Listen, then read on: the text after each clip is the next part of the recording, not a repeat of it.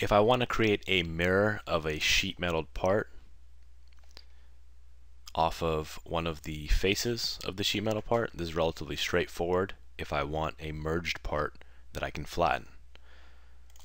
So if I choose the mirror tool and for example choose this flat face which is required for a sheet metal part for example if I try to choose one of these planes this feature is going to give me an error.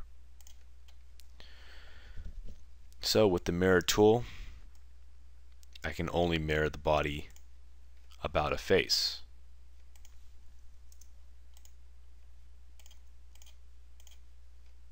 Or rather a sheet metal body about its own faces. You see this error that I'm getting when I try to select this. So once again, if I created a quarter of a part or half of a part and wanted a merged result, this would be fairly useful as I get a whole part or half of a part now. And I can even go on to mirror this again.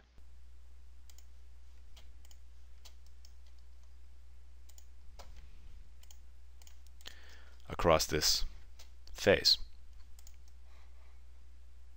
And so like I said, if I had a quarter of a part, I can easily create the whole part, merged together.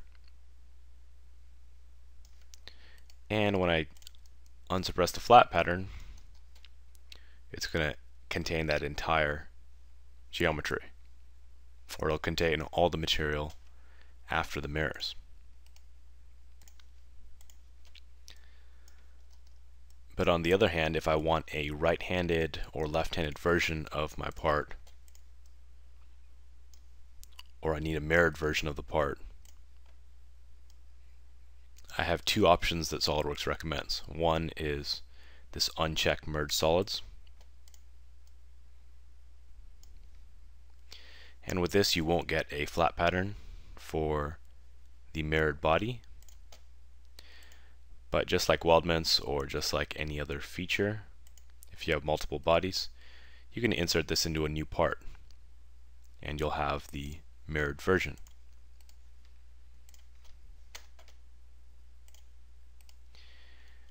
You can also use the insert mirrored part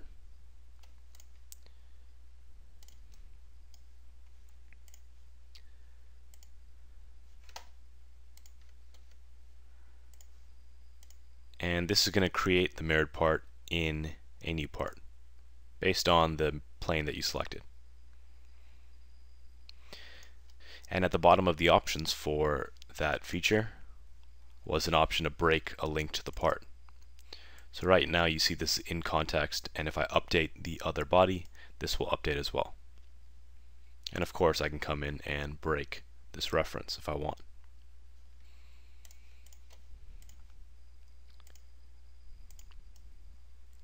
Both of those options are fine if you just want an identical copy. But what if you want to make changes to the mirrored side of that part? What if those are going to be slightly different? Now the options aren't quite as straightforward. Once again, if I mirrored the body over,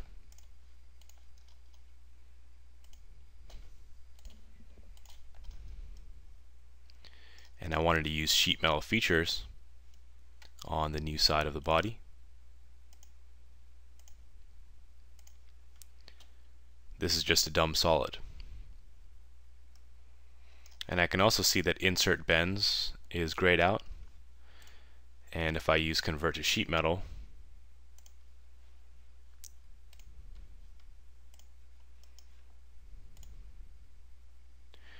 this feature is going to fail as it doesn't like the way this was created. So there's one quick workaround for this. And it's to use the move copy bodies option. You can also find this in the features pull down in the insert menu.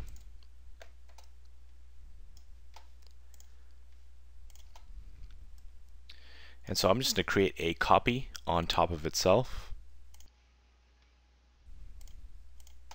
So now I have two bodies in the same place. I'll go ahead and hide out that edge flange. And now not only can I mirror this, but I'm no longer limited by using one of the faces on the side of my sheet metal body.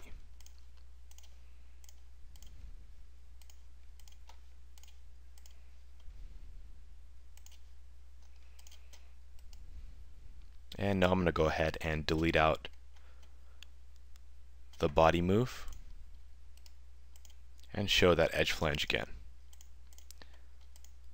Now you can see without that body present that this insert bends option goes away.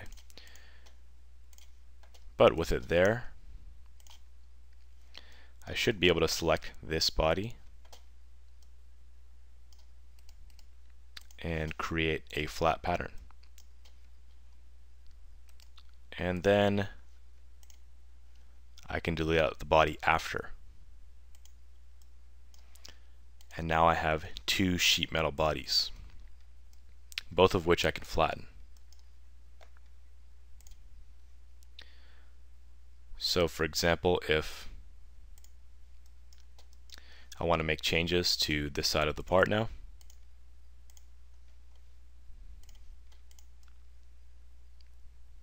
I can update the mirrored image of the part without having to go back in and change this part. So this allows me to quickly transition over all that geometry without having to recreate it or without having to work on the opposite side of the part. So if you've ever needed to work on the mirrored side of a sheet metal body, that's the process you would take to set up that workaround to convert this over to a sheet metal body.